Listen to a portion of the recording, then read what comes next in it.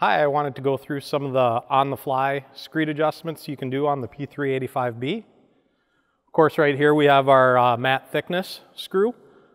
We want to make a small change in our thickness, we're using this screw. If we want to make a big change, we're going to use our tow point.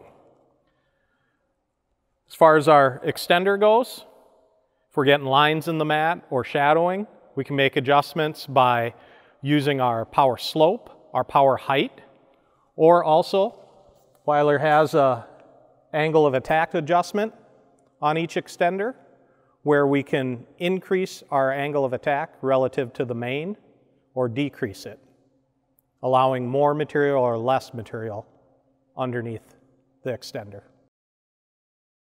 If you have any questions, feel free to reach out to your nearest Ziegler branch.